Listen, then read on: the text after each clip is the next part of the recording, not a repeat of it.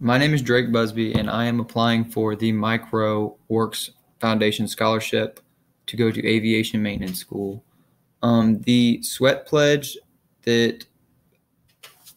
resonates with me the most is number seven, and it is I believe the best way to distinguish myself at work is to show up early, stay late, and cheerfully volunteer for every crappy task there is. And I like this one the most just because you can use it in everyday life. If you show everybody that you're a motivated and genuine person, they just want to be around you, they want to get to know you, uh, then they just want to just be like you, and it kind of motivates your team and whoever you're working with, and shows them that you're like